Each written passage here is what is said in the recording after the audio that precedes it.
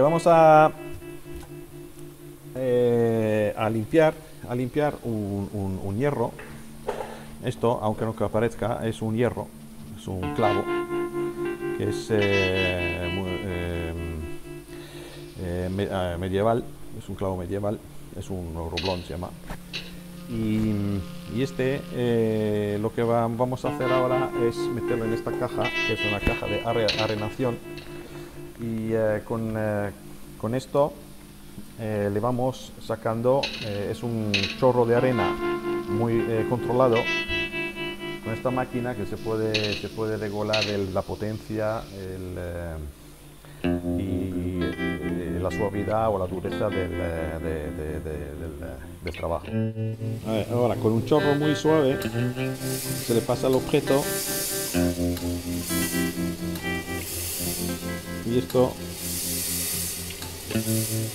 se le busca el, el tamaño ori- original que, que se da con la oxidación.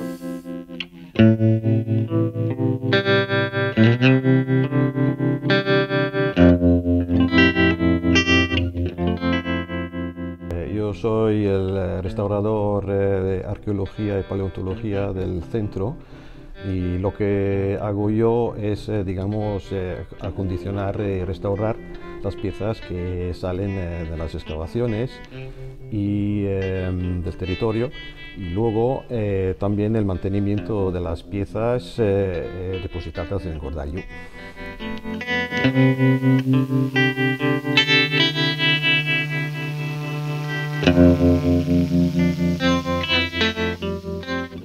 Que Gordallo es un centro donde se recogen eh, los que son materiales, materiales eh, etnográficos, em, eh, históricos, em, arqueológicos y paleontológicos eh, del territorio. Nosotros tenemos, por ejemplo, una, buena colección paleontológica de, instrumentos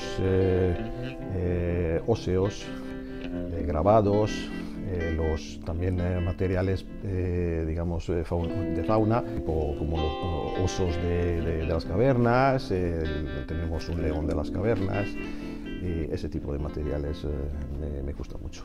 Mm, un objeto que no se mantiene y que se deja a la intemperie, clara- claramente se, se, desaparece o se destruye enseguida, pero eh, trabajando, eh, manteniendo, restaurando, eh, conservando en, eh, en un ambiente mm, idóneo puede, puede sobrevivir muchísimo tiempo.